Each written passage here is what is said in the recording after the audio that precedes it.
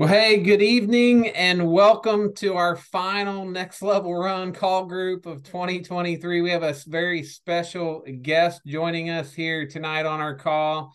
And tonight is something that we want you to uh, feel. We want you to feel. I, one of my training principles, and remember what we're doing here we're developing champions. We're not trying to win the championship, we're developing champions, and champions win champion championships re- regardless of where we are and what we do, that's what we want to do is develop champions. And so, uh, one of the things I do when I prepare a training, this is a tip for you tonight. You're not going to have to write much down, but I want to give people something to feel, something to remember, and something to do. That's the teacher in me. You want to those connection points. Everybody learns a little differently, and so tonight, tonight's going to be a more on the feel. You're going to feel and experience a story. I I love the power of stories. When I first started, I would always ask people, How did you start? What's your background? Is this your first time? Did you try the product first, or did you not try the product at all and just wanted to make money? And then you found out we had amazing products.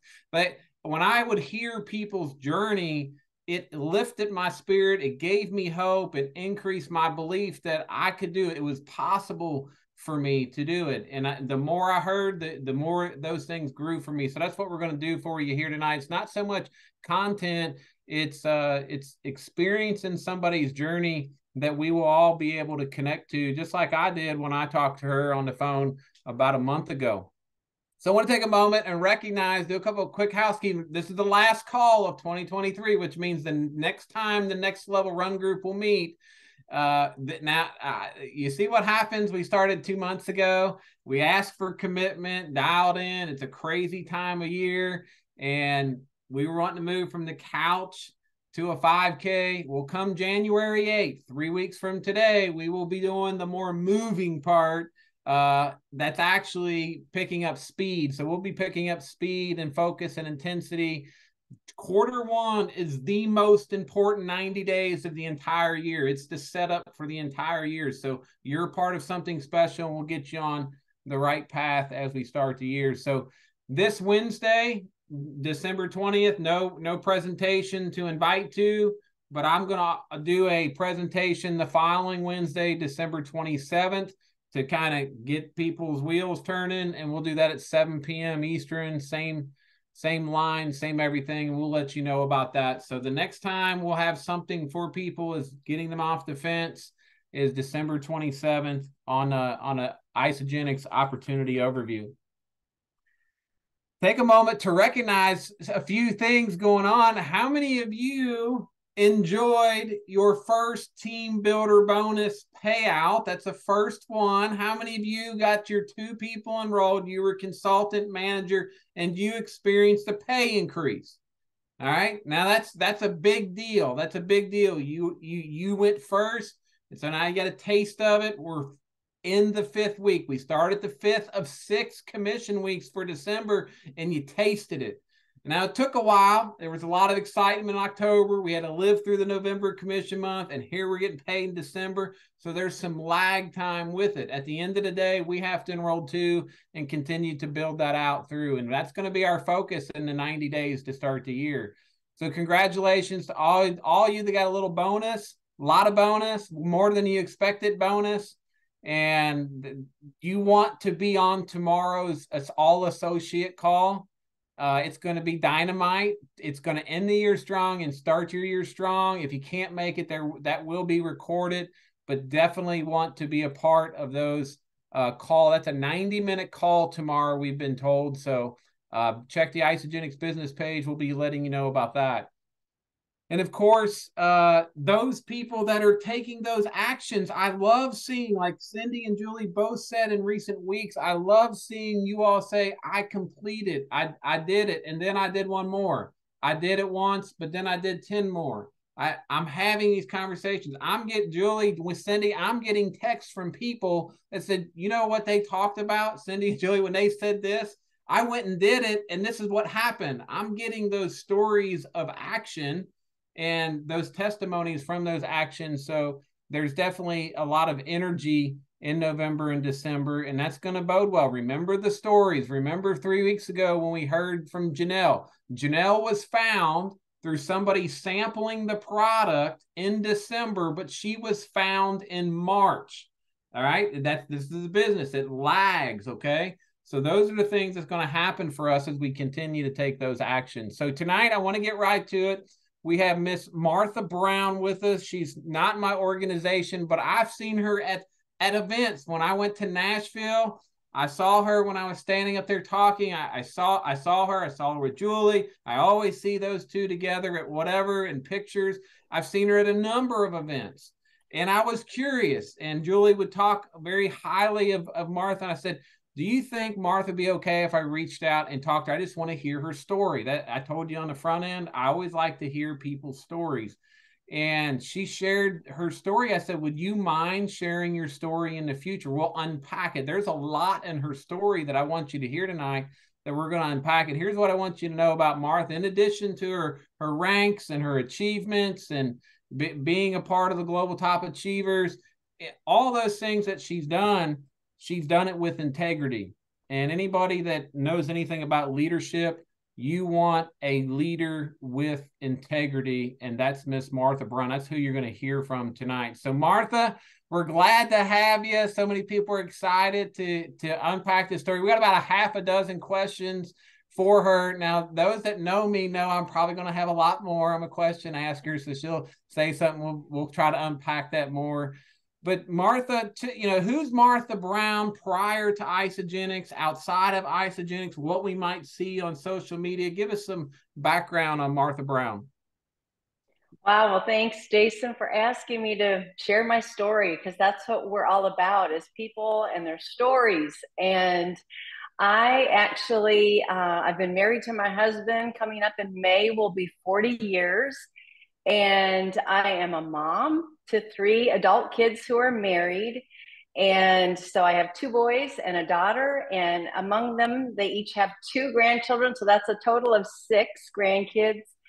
And probably in the near future, we will be grafting in three more through marriage. So that would be a total of nine grandkids. And I just am so blessed by family. That's my top priority, along with faith. And um, we raised our family actually in central Illinois.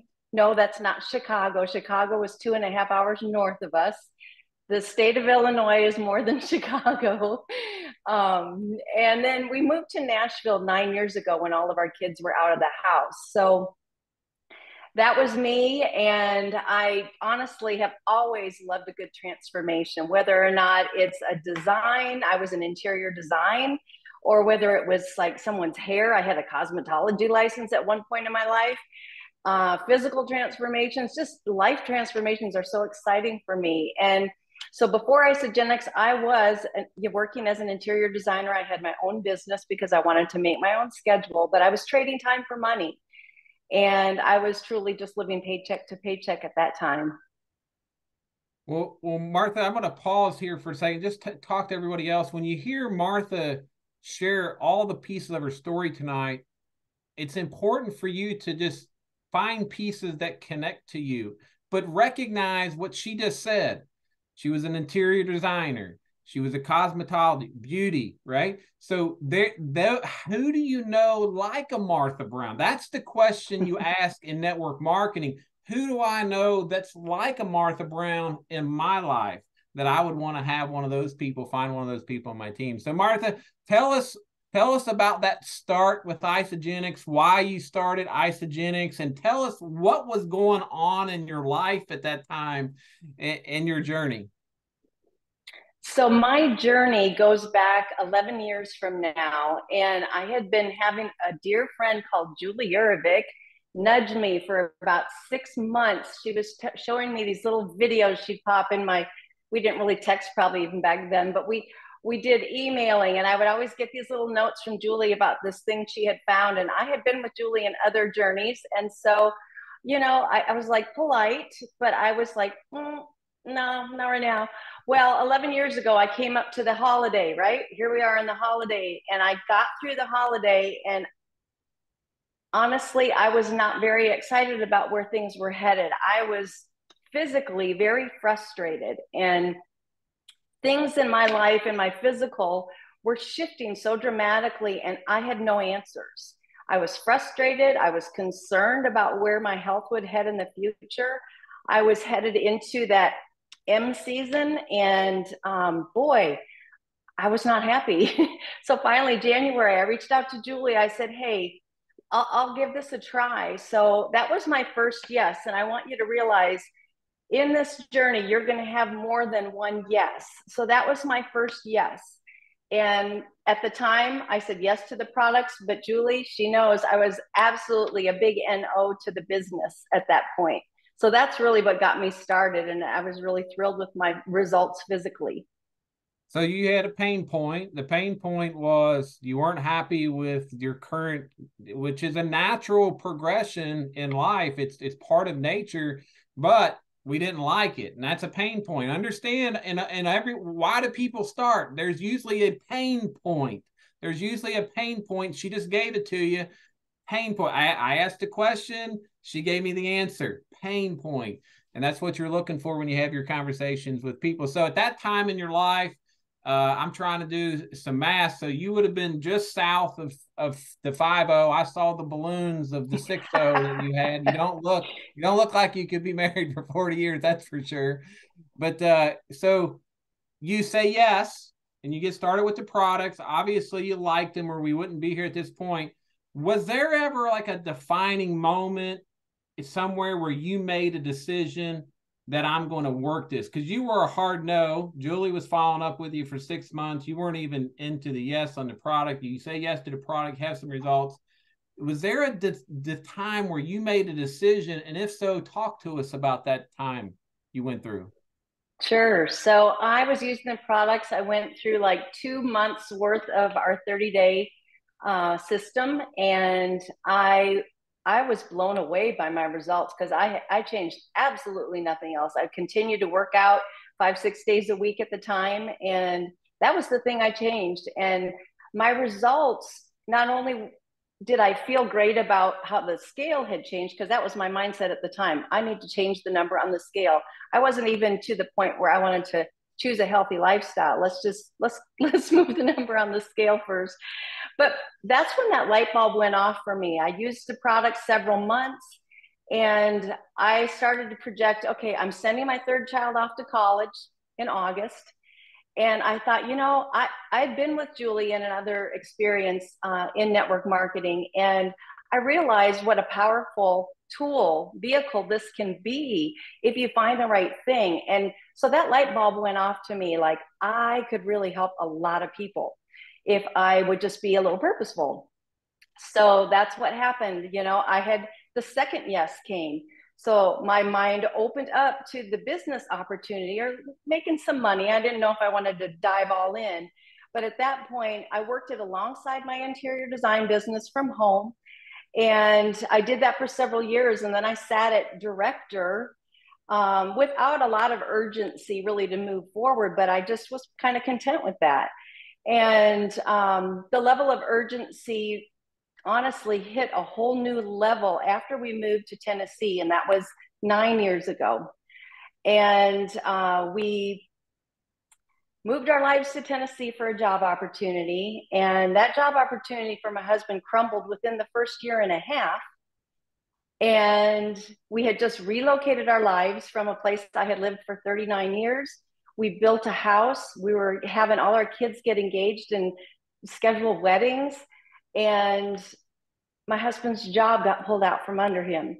So let me tell you, if you want some urgency, that moved the urgency up to about here.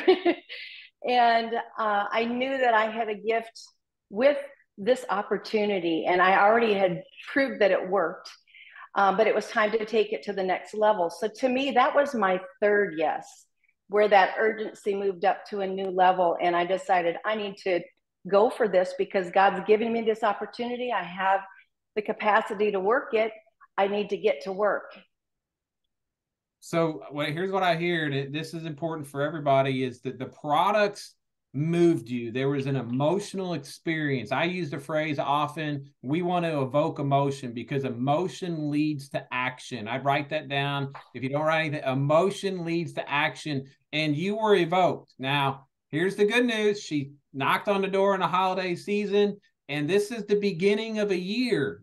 Martha is just a customer in the beginning of the year, and she's having great experience. It moves her to be a 10 or 30 percenter that Jim Rohn would call. She's going to do it. She's still going to do her interior design business, still going to be mom. And then another emotion hits you outside of your control. And that's a negative emotion. And it's like, here I got something special. I can create a revenue stream. Now, so that that just kind of takes us through that beginning, that those first many, many months in that first year I got to ask the question. I hear this often. We, I, I, I personally have dealt with it in my 12 year career. Have you ever thought about quitting? And if so, how did you overcome or get through that valley of quitting? Because when you first start and you're excited and things are going, there's a lot of hope. Then some things happen that lead you to potentially quitting. How do you get over that or through the valley? Because some of the people are in the middle mile right now, Martha, and this is going to help them. So honestly, the question, did I ever feel like quitting? Yes. yes, not just once. Um, but one of the things I've always asked myself in the midst of those those moments was, you know, if I don't do this, if not this, then what else? And I honestly cannot come up with another what else that would give me the freedom that would give me the potential for opportunity, that would allow me to help others, that would allow me to become a better version of myself over and over again. So that was one question I would ask myself in the midst of those lows.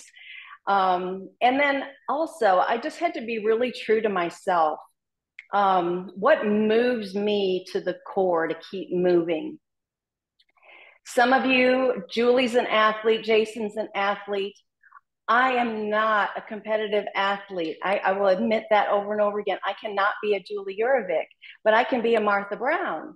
And so, what moves me to the core is that I feel deeply, but I also relate deeply. So, one thing that really, really helped me in those moments um, back in the day when I was just pushing and going for what I felt like, can I really do this?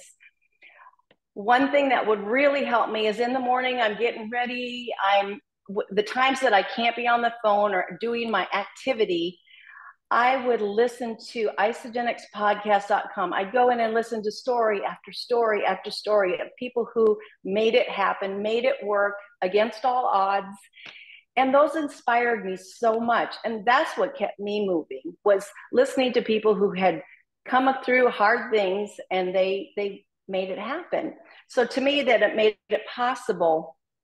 And you know, right now we don't have isagenixpodcast.com anymore, but we do have a lot of great things. So if you want to go listen to Dr. Plant, he's got all these amazing videos he's creating through his Instagram account. You can go to uh, isamovie.com. There's a bunch of things there. You can go to isagenixbusiness.com and you can go under uh, training and go to calls and then go to past calls. If you scroll all the way down, there's actually a section there called strengthening your Isagenix vision. So I would just recommend in those low moments, go search out those things and feed your mind with things that are going to help you to keep move.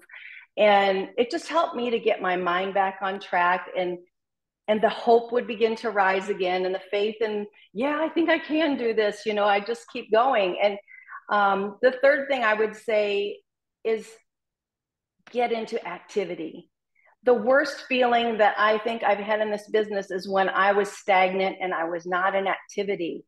And just kicking myself uh, into activity and doing some things, it ends up being such a refreshing relief. And so, between, you know, filling my mind with things, just moving forward, those things really helped me through the, the hard times.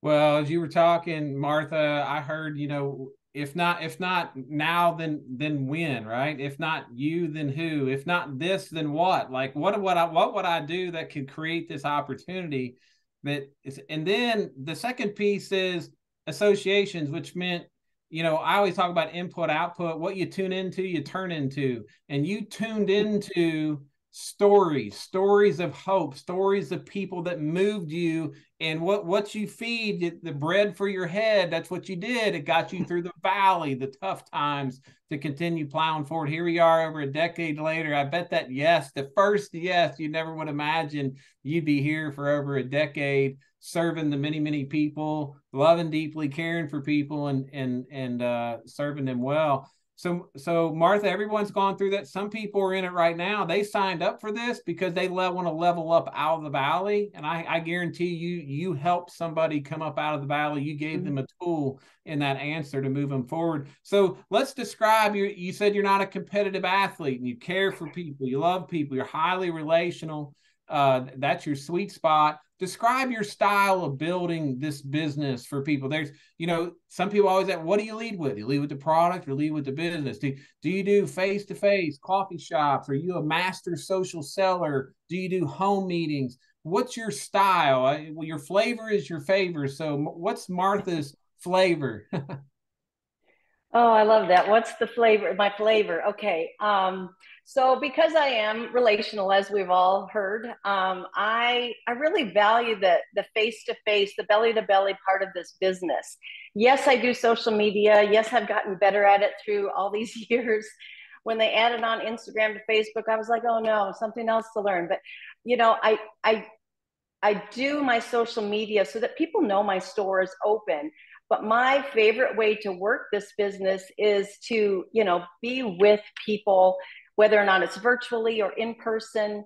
Um, I just, you know, I encourage all of us to get involved in groups outside of your house. Get in a book club, get in like a church small group or a volunteer opportunity, those kinds of things. I've also really leveraged uh, my participation in open networking groups. And because I've gone to several different types of open networking groups, uh, that leads into you know relationships i meet there but i also get invited to um, like business happy hour networking events uh, that are just very much you know mixers. Like you just go and there's hundreds of people or 50 people and you just start talking to someone.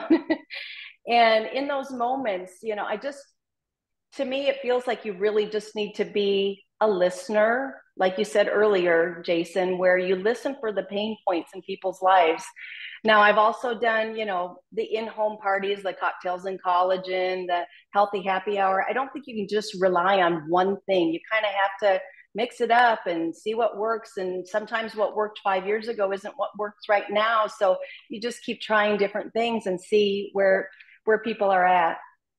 But when I do meet new people, I always am very intentional to exchange contact information. And in that moment, what I do whether or not it's friending them on Facebook or getting their contact in my contacts, I screenshot it because you know what? Two hours from now, when I go home and I've met about 15 people and I've had all these conversations, do you think I'm going to remember off the top of my head?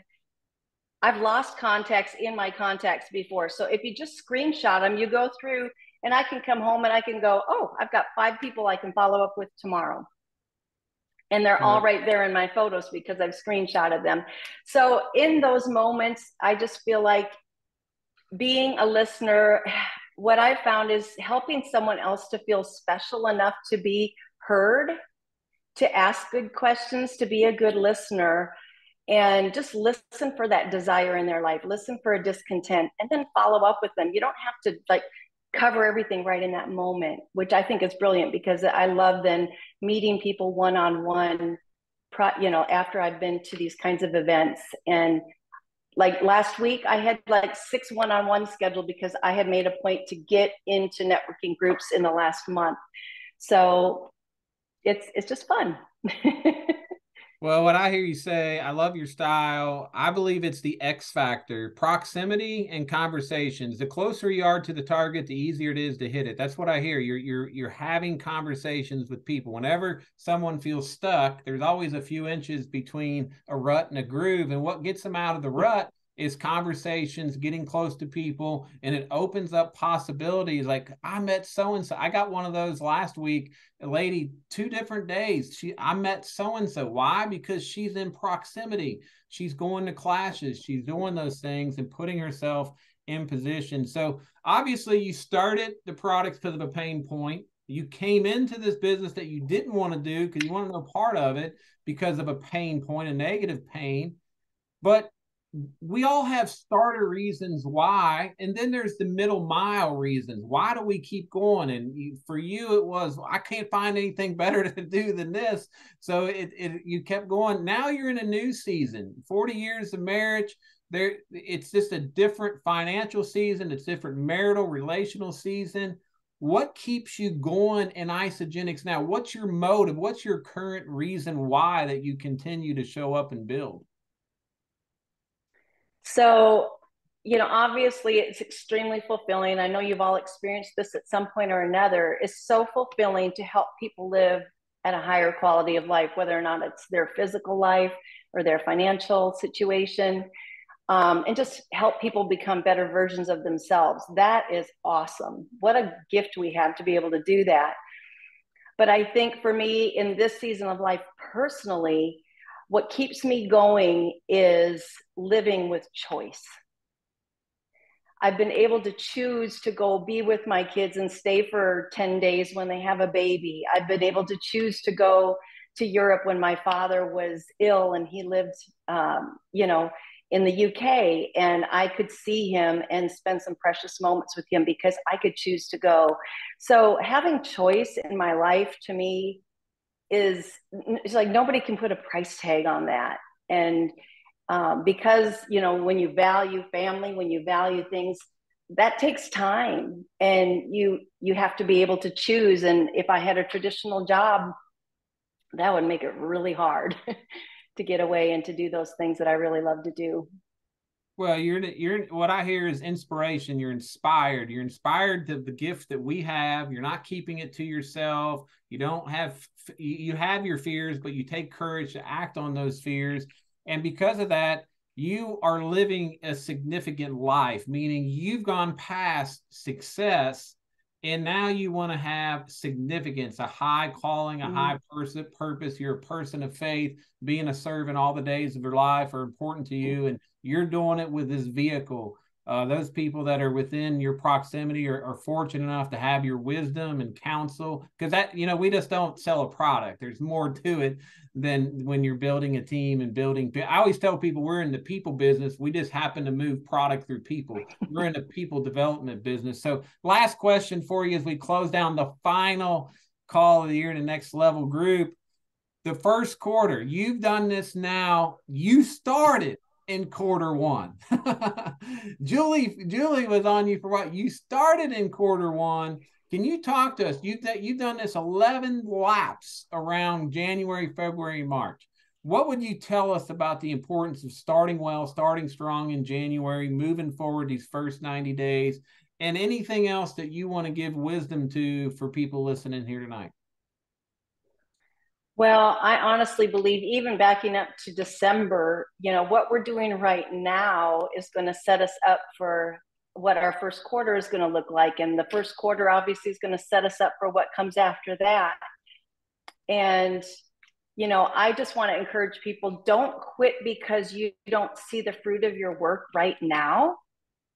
Because as as you alluded to earlier, Jason, a lot of time it is definitely a delayed effect from the time you do action to the time you see some kind of results. Um, and the outcome in your business doesn't show up right away. So you have to have that long term okay i'm doing the work now because i know i'll see something later.